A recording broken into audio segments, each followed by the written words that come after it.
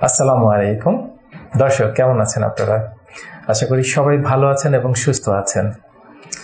দর্শক, আমরা সবসময় আপনাদের সামনে পেশেন্টদেরকে সরাসরি নিয়ে আসার চেষ্টা করি। সরাসরি তাদের সাথে কথা বলার চেষ্টা করি। কারণ হচ্ছে, রুগীদের যে ধরনের সমস্যাগুলো হয় বা আমরা যে ধরনের ট্রিটমেন্টগুলো আসলে করে থাকি, সেটা আসলে আমরা নিজেরা বলার থেকে রুগীরা বললে কি হয়, একদম টোটালি আমরা ডিটেলস সম্পর্কে আমরা জানতে পারি।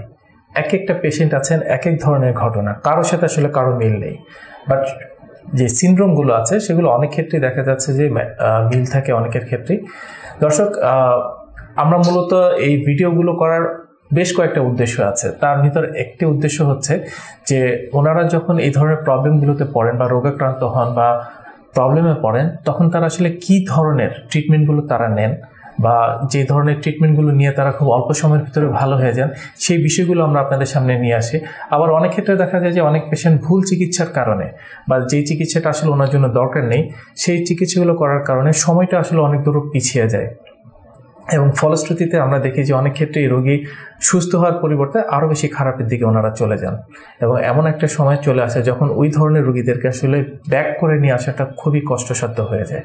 তো এই ধরনের সমস্যা যাতে আপনাদের জীবনে না ঘটে, আপনারা যাতে যদি আমরা জানা থাকে যে আসলে আমার কি করা উচিত, আমরা কিন্তু খুব সহজেই আমরা সুস্থ হওয়াটা সম্ভব। দর্শক, আসুন আজকে আমাদের যিনি অতিথি আছেন, আমরা একটু ওনার সাথে পরিচিত হই, কি ওনার কি হয়েছিল এবং কি কি ধরনের উনি প্রবলেম নিয়ে উনি ডক্টর মোহাম্মদ শফিউল্লাহ প্রধান স্যারের কাছে এসেছিলেন এবং সর্বোপরি উনি ট্রিটমেন্ট নেওয়ার পরে আজকে উনি কেমন আছেন? পুরো বিষয়টা আমরা একটু ওনার কাছ থেকে প্রথম থেকে শেষ পর্যন্ত আজকে জানব।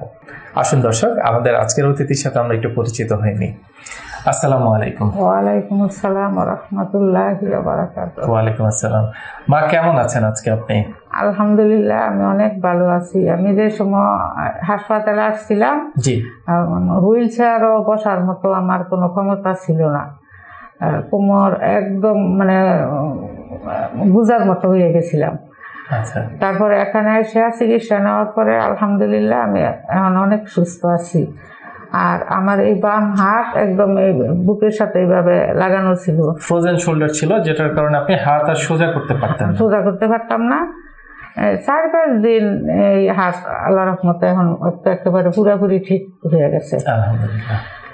মা আমরা একটু আপনার পরিচয় জানব যে আপনার নামটা যদি একটু বলেন। আমার নাম নাসিমা বেগম আমার বাড়ি গাজীপুর জেলায়। জাতীয় জাতীয় সামনে আমার বাসা আর কি বাড়ি করছি আমি। আপনি তো একজন হাউস ওয়াইফ গৃহিণী কয় সন্তান আপনার? আমার একটা মেয়ে। একটা মেয়ে। আচ্ছা আমরা জানি যে আপনি এই গাজীপুর জেলা থেকে এত দূর থেকে ডক্টর মোহাম্মদ শফিউল্লাহ প্রধান স্যারের কাছে ট্রিটমেন্টের জন্য এসেছিলেন। আমাদের দর্শকদের জন্য যদি একটু খুলে বলেন যে এই সমস্যাটা শুরু ঠিক কতদিন আগে প্রথম শুরু হয়েছিল? আড়াই তিন বছর আগে শুরু হয়েছিল। এতদিন আমি মাঝখান দিয়ে ডাক্তার দেখাইছিলাম। তো হসপিটালে যাওয়ার পরে ওনারা এমআরআই করার পরে বলছে যে এটা অপারেশন দ্রুত অপারেশন করতে হবে না। তা না হইলে পঙ্গু হওয়ার সম্ভাবনা আছে। আচ্ছা। তো আমি ওইটা করাই না আমি গুগলে সার্চ দিয়া স্যারের এই ঠিকানা এখানে ট্রিটমেন্ট সব কিছু মিলাইয়া ভালো লাগছে এই জন্য আমরা স্যারের সাথে যোগাযোগ করে এই জায়গায় আসছি। আচ্ছা। আর আসার আমাদের মানে খুবই সফল হয়েছে আর আমি তো আছি প্রায় ষোলো সতেরো দিন। এর মধ্যে আমার চোখের সামনে অনেক যারা ছিল অনেক খারাপ পর্যায়ে ছিল তারা ভালো হইয়া রিলিজ নিয়ে চলে গেছে। আচ্ছা মা আপনি যেটা বলেছেন গত তিন চার বছর আগে থেকে আপনার এই সমস্যাটা প্রথম শুরু হয় প্রথম কোনো দুর্ঘটনা বা কিছু কি ঘটেছিল প্রথম আমি ঘরের মধ্যে ওই রোজার মাস ছিল। হুম হুম। ইফতারি করার পর একটু পানি পড়ছে। ওইটা মুছতে যাইয়া মানে স্লিপ খাইয়া শুধু পয়সা পড়ছিলাম আচ্ছা। কিন্তু। তখন কোনো ব্যথা বা কিছু অনুভব করেন তখন কোনো ব্যথা লাগে না কোমরে একটা টান লেগেছিল। টান- করে উঠেছিল করে কিন্তু ওরকম কোনো ব্যথা বা ওরকম কোনো কিছু না। এটা ঠিক এক বছর পর থেকে আপনি আবার হঠাৎ করে বুঝতে পারেন। এরকম অবস্থা। আচ্ছা এক বছর পরে কি প্রথম শুরুটা কি দিয়ে হয়েছিল? প্রথম শুরুটা রাত্রে শুইছি হুম। খাওয়া দাওয়া করে নামাজ পড়া। সকালে আর উঠতে পারি না। উঠতে পারি না অনেক ব্যথা প্রচণ্ড ব্যথা। তো আমার সায়া বাবা তাই না মানে দুইরা উঠাইছে উঠানোর পরে বসতে পারি না। আচ্ছা যে মানুষটা সুস্থ মানুষ রাতে ঘুমিয়ে গিয়েছেন সেই মানুষটা সকালবেলা দেখছেন বসতে পারি না আর মনে হয়েছে যে এই সব মানে রোগ মাংসগুলা একদম কিচ্ছা ধরে রাখছে। টয়লেটে যাইতে পারি না মানে এক কাইতো মানে একটা পাড়াও দিতে পারি না নিচে। আবার ওইভাবে সহায় দিছে। দেওয়ার পরে তখন আমরা স্যারের ঠিকানা আমরা জানতাম না আর এই ধরনের চিকিৎসা যে আছে তাও আচ্ছা। মানে হঠাৎ করে তো আসলে হঠাৎ তখন কি করেছিলেন? তখন আমি ডাক্তারের কাছে গেছি। এলাকার কোনো ডক্টরের কাছে? এলাকা গাজীপুরে ওই। গাজীপুরে। উনি বলছে এমআরআই করায় নিয়ে আসেন। হ্যাঁ দেখি কি হয়েছে আগে সমস্যাটা দেখি। তো উনি দেখার পরে বলছে তাড়াতাড়ি আজকে বর্তমান আজকে অপারেশন করাবো। আচ্ছা। তারপরে আমি এটা শুনে কিছুটা একটু ভয় পেয়ে গিয়েছিলেন অবশ্যই। বয়ে পাইছি আত্মীয় স্বজন আছে তাদের কাছে অত একটু। জিজ্ঞেস করা লাগে যে এই রুগীর অপারেশনটা সাকসেসফুলের হার কত? এটা হুম হুম। এটাও তো একটু বোঝা দরকার আছে। এই জন্য আমি বাসায় চললাম আর সবার সাথে যোগাযোগ করলাম। সফলতার হার একেবারে নাই বললেই চলে। আচ্ছা। যারা অপারেশন করে তারাও দেখি আবার এই ফিজিওথেরাপিতে আসে। আচ্ছা। অনেকেই অনেক রোগী আছেন যারা অপারেশন করেছেন হয়তো হ্যাঁ। জানতেন না যে অপারেশন ছাড়া যে ভালো হওয়া সম্ভব ভালো হওয়া সম্ভব এটা তারা জানেন না। এখনও জানে না অনেক মানুষ। আচ্ছা ম্যাম যখন আপনি দেখলেন যে প্রচণ্ড কোমর ব্যথার জন্য আপনি ডক্টরের কাছে গেলেন এবং উনি আপনাকে অপারেশনের সাজেস্ট করল কিন্তু আপনারা অপারেশন থেকে একটু সরে আসলেন যে একটু দেখি আগে একটু বুঝার চেষ্টা করি জানার চেষ্টা করি। হাতে আপনি যেটা বলেছেন যে হাত ফ্রোজেন শোল্ডার হয়ে গেছিল হাত নাড়তে পারছিলেন না সেটা কতদিন আগে থেকে? সেটা বেশি দিন না। সেটা আর অনেক পরে।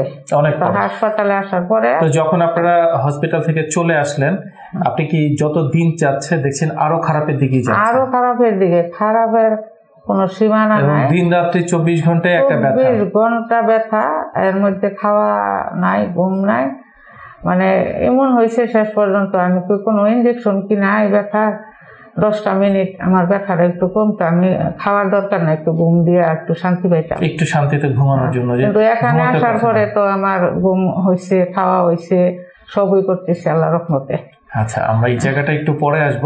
তখন কি করলেন? যখন দেখছেন যে এরকম অস্থিরতা ব্যথা আর পারছেন না সহ্য করতে পারছেন না দিন রাত চব্বিশ ঘণ্টা ব্যথা তখন কি অন্য কোনো ডক্টরের কাছে গিয়েছিলেন? অন্য কোনো ডক্টর ওই ডক্টর ওই যে ওষুধগুলো দিছিল এগুলো খাইছি কাজ হয় নাই।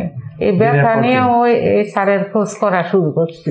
মানে তখন অল্টারনেট বলে। খোঁজ নেওয়া শুরু করলেন। আর কি ধরনের চিকিৎসা আছে?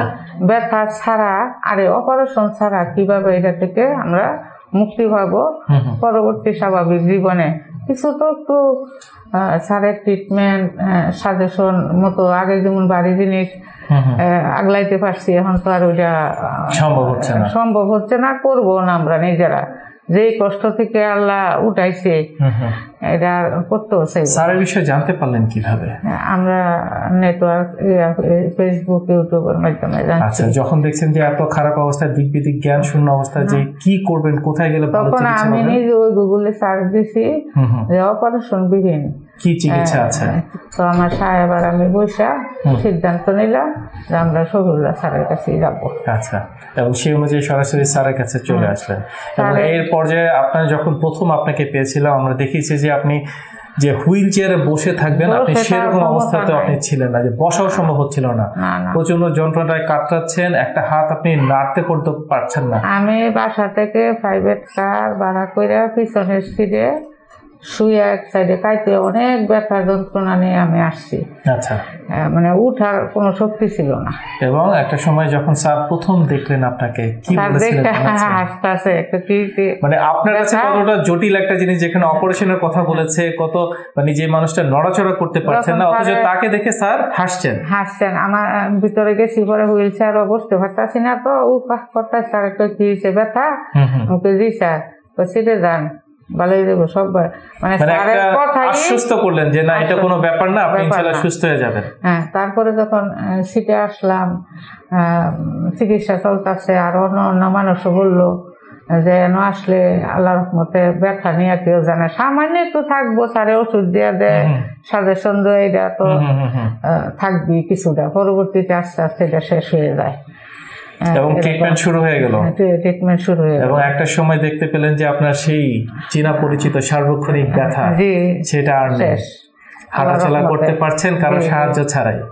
এবং ঘুমাতে পারছেন ব্যথা মুক্ত ভাবে। অবশ্যই। এই যে দীর্ঘদিন পর শান্তিতে ঘুমাতে পেরেছেন কেমন লাগছে? অনেক অনেক শান্তি আলহামদুলিল্লাহ। আল্লাহ যেন সবারই যার যত এই ধরনের ব্যথা আছে তারা যেন অপারেশনে না গিয়া এই ধরনের ট্রিটমেন্টে আসে তারা যেন সুস্থ হয়।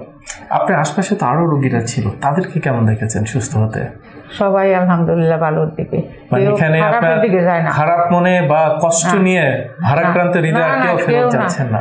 কেউ আমি হাসপাতালে আসার পরে কেউ এইভাবে যায় না। সবাই বলছে আমারও বলছে আমি যখন তিন দিন পরে আমার ইঞ্জেকশন দিল না জ্বর আসা।